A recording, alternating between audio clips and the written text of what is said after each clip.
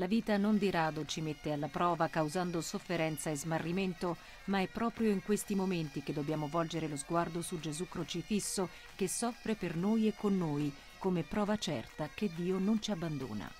All'udienza giubilare Papa Francesco si è soffermato sul tema della misericordia e della redenzione, una parola quest'ultima poco usata eppure fondamentale perché indica la più radicale liberazione che il Signore poteva compiere per tutta l'umanità e per l'intera creazione. L'amore di Dio è sconfinato, per questo non bisogna dimenticare che pur nelle angustie e nelle persecuzioni siamo sempre liberati dalla mano misericordiosa di Dio che ci solleva a sé e ci conduce a una vita nuova.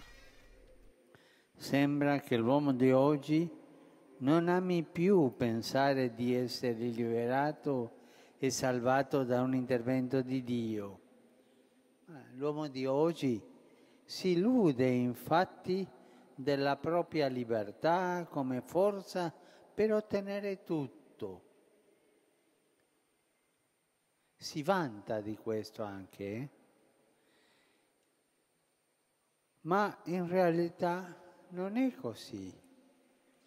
Quante illusioni vengono vendute sotto il pretesto della libertà e quante nuove schiavitù si creano ai nostri giorni in nome di una falda, falsa libertà.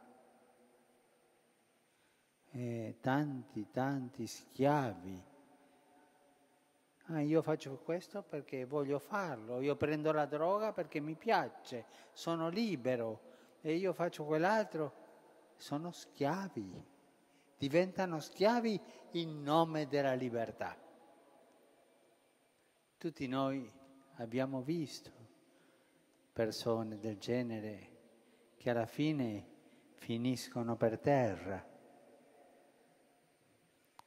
Abbiamo bisogno che Dio ci liberi da ogni forma di indifferenza, di egoismo e di autosufficienza. Nel saluto in lingua italiana il pontefice ha rivolto un pensiero grato e riconoscente al Servizio Nazionale della Protezione Civile che ha annullato la propria partecipazione all'udienza giubilare per continuare la preziosa opera di soccorso e assistenza alle popolazioni colpite dal terremoto del 24 agosto scorso.